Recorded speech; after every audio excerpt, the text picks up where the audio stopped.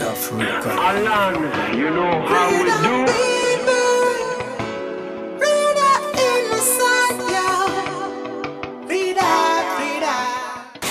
léegi man maa ngi tudd Chérif Mako Faye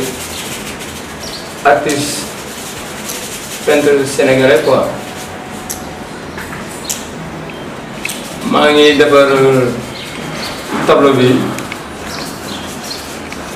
maanaam li ci wax xam-xam connaissance waaw parce que dama gis ni problème yi am ci monde bi surtout en Afrique jigéen jigéen ñi ñuy toroxal ak xale yi gis naa ne la seule solution c'est le savoir mooy jàng xam-xam moo tax ma def benn sondeel maanaam di wane lumière